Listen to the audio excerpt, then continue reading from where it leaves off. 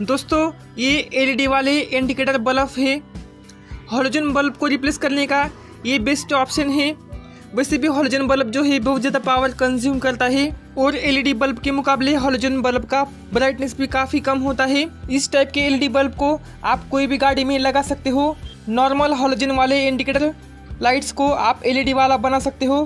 बड़ी आसानी से एलईडी बल्ब लगाने के बाद आपको विजिबिलिटी काफ़ी तगड़ा मिलेगा। चलिए अभी मैं आपको इसको चला के दिखाता हूँ। देखिए इस प्रकार से जो है, इसका ब्राइटनेस काफ़ी अच्छा है। इस एलईडी बल्ब को नॉर्मल इंडिकेटर लाइट में लगाने के बाद विजिबिलिटी में आपको कोई भी दिक्कत नहीं आएगी। इसको आप कोई भी टू व्हीलर फोर व्हीलर की गाड़ी के अंदर जो है यूज़ कर सकते हो। प्लीज़ वीडियो को लाइक कीजिए और चैनल को भी सब्सक्राइब कर लीजिए। बाकी वीडियोस देखने के लिए आप हमारे चैनल पर विज़िट कीजिए।